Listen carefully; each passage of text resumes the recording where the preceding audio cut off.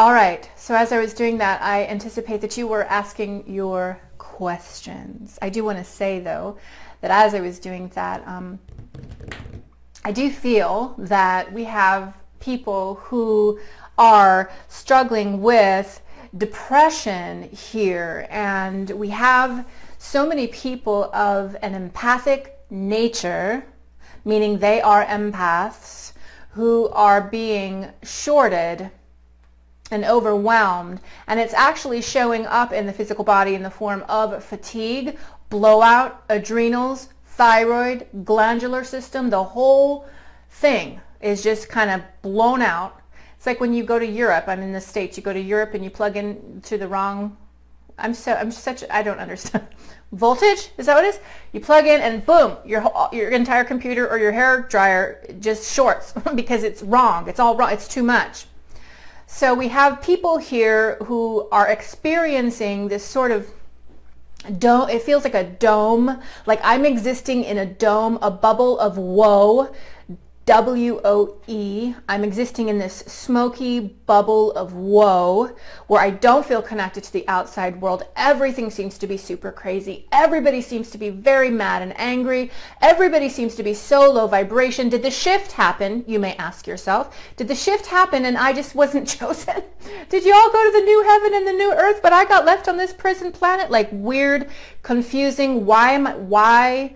Am I here? What's going on? You have a compass within you, of course, that's always pointed home. So you have the sensibility existing of that which is higher than I, right? The rock that is higher than I. This this knowing that happens that there is something beyond this life and beyond who it is that you are. You know there's something beyond the dome of this space that you're living in, but it's getting to the point where you're not, it doesn't matter so much for you because it's per perpetual, in perpetuity, they would say, in perpetuity, always happening, waiting for the other foot, the, waiting for the other shoe to drop. Oh, awesome, this was a great day. This tomorrow's going to suck then, because that's the way life works, like in a pattern like that.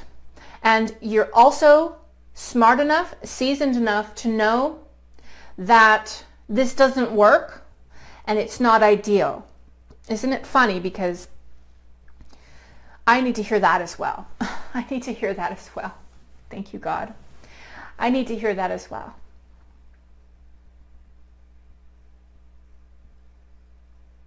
Is this, wow, I need to hear that as well. That's me too. Whoa, arrow to the heart right there. I was talking to Sorry guys, this is just what's coming up. I was talking to Lauren this week, Antua Fermo, she's the manager of the lab, and I was telling her, Lauren, it's been really hard. And since November, I've been struggling.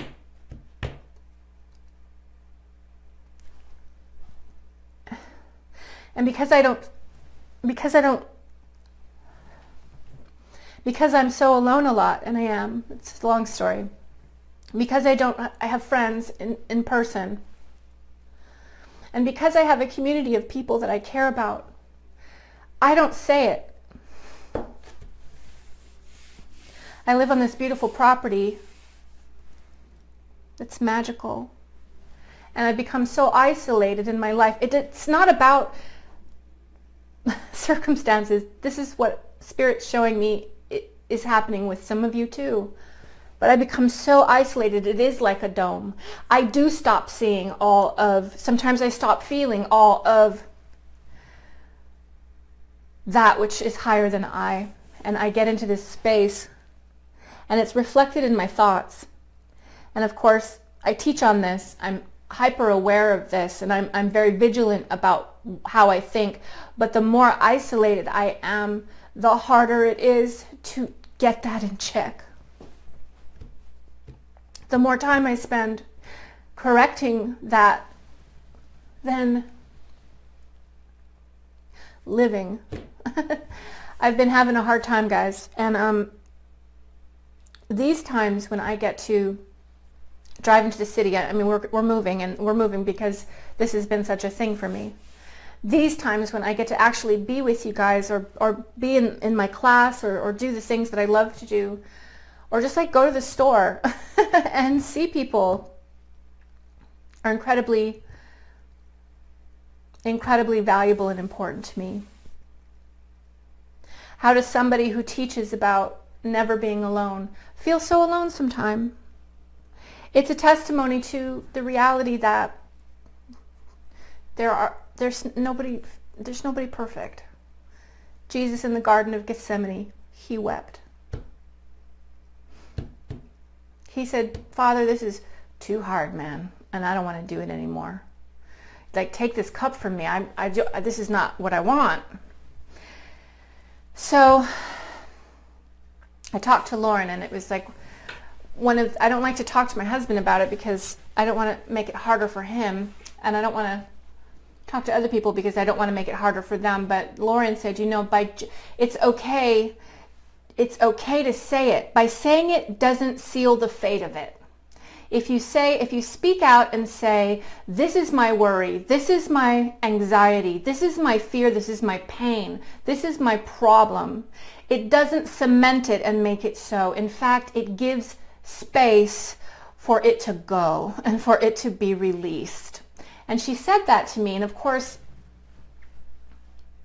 I know that but we slip in and out of states of knowing our whole life. I've known a lot of things throughout my life, forgot them too.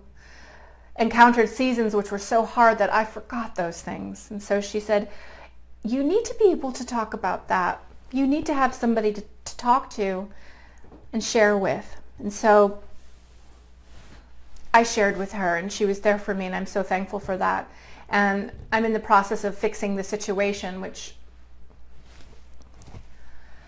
my point is that anybody out there who might feel like they live so isolated, and you can be around a lot of people and feel that way, can't you? You can be in a house full of kids and a husband, and you might even have a job and a lot going on, but in the silence of your life, in the moments where it counts, you might feel completely disconnected and cut off from that river of life, from that light. And for you, Spirit would say, that just, well, it wasn't easy, was it? For you, Spirit would say that that dome is an artificial construct. It's not real. It's not real. It's a byproduct of this dimension. It's, it's artifice. It's architecture of this dimension. It's the traps that we find ourselves in as a result of conditions and circumstances. And if we don't correct soon enough, right? If we don't course correct soon enough, pretty soon we find ourselves looping and looping in these areas and we feel like this is all there is. Well, it's not. There's more. Of course. You have access to infinite resources. Elijah, stop Turn around. Look at the mountaintop. Don't you see who stands there with you? And so I would give you a message of, of love and support and say, I understand that.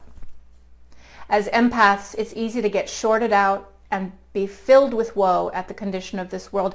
But I believe we are shifting. I know we are. I know we are the reason we're burning out, the reason we're seeing more things. In the end days, young men will dream and have visions, right? These are the days. We're shifting. It's happening right now. There's a reason that we feel on this level because we are we are being given the feelers required so that we can exist at a higher frequency. We can exist, if you will, in a new dimension, in a new heaven, in a new earth. I believe this is where we are going.